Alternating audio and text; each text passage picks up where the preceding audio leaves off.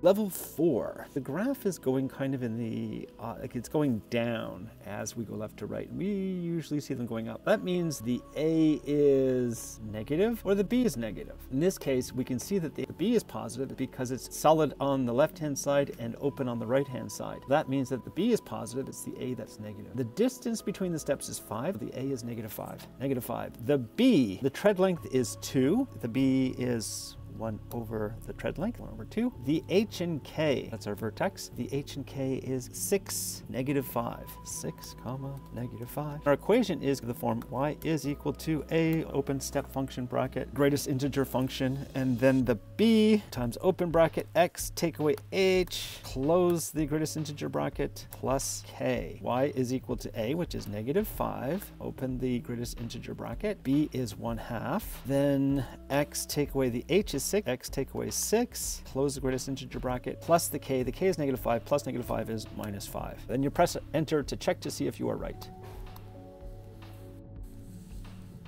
This one also has a negative a because the steps are going down and it's opening in the traditional form, like it's solid on the left and open on the right. The a is negative. A is the distance between the steps. It's one, two, three. A is negative three. B, the length of the step is one. The B is one over the length of the step. So one over one is one. The vertex is, let's go with that point. We can go with any solid point and put in that as our vertex. I'm just gonna go with the green one. It is negative five, negative three. Remember our equation is y is equal to a greatest integer bracket times b times open bracket x, take away h, close the bracket, close the greatest integer function bracket, plus the k. Our equation is a is negative 3, the b is 1. I'm not going to write 1 here. I'm just going to remove that, remove the bracket. The h is negative 5, so minus minus 5 is plus 5. The k is minus 3, plus minus 3 is minus 3. There's our equation.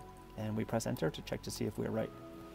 Here's one that's going up normally, but it's opening in the wrong direction. That means both the A and the B have to be negative. The distance between the steps is, we're going from two to six, that's a distance of four. It's negative four. We know the A and B both have to be negative because the steps are going up normally. We know the B is negative. It's open on the left and solid on the right. The B is negative and it's going up in the positive direction. That means the A has to be negative as well. The A is negative four. The B, length of the steps is five. B, one over five, it's negative one, negative one over five. The vertex, I'm going to use one of the solid dots. The green one's good. 6, 2. Our equation is y is equal to a open square bracket b open x minus h close the greatest integer bracket plus the k. The a is negative 4 and the b is negative 1 fifth. H is 6, K is 2. There's our equation. And you press enter to check to see if you're right.